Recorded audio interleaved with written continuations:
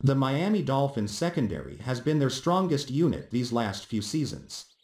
The team is only adding talent and depth to this position and while it's plausible to suggest that Howard can't duplicate his 2020 season, there is little reason to expect a huge drop-off. Miami's secondary should be just as strong as last season.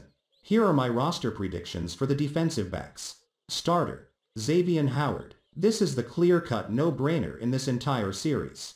After a Defensive Player of the Year run in a top 5 corner in the game billing, there is absolutely no reason to think Howard won't be the day one starter.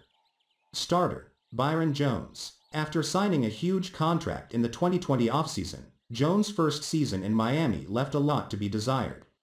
Hopefully, with a normal offseason this go around, Jones can have a bounce-back season that justifies Miami's lavish spending. Starter, Nik Needham. Nik Needham is not the best corner on this roster but has done a decent job over the last few seasons to warrant a starting spot in the slot. He may get replaced quickly depending on how some of the backups on this list develop this training camp. But, as of now, Needham gets a starting spot.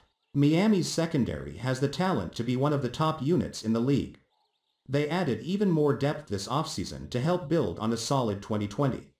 Backup, Noah Igbinoghene. Igbinoghene was a bit of a disappointment in his first season in Miami. After the early injury to Byron Jones, Igbinoghene was thrust into the starting lineup and didn't come close to looking like a first-round pick. Hopefully, with a full offseason, Igbinoghene can prove he has the ability to compete at the highest level.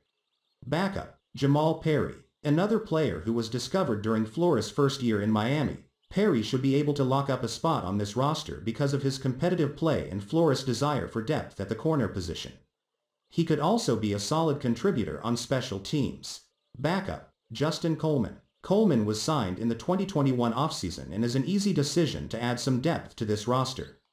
I doubt he sees considerable playing time, but he could step in if there is an injury to one of the starters on this roster. Outside looking in, Javaris Davis. Davis is just not good enough to supplant anyone above him on the roster. Trill Williams. As an undrafted free agent, Williams's chances are slim to begin with and with the strength and depth of the unit, he won't make this roster.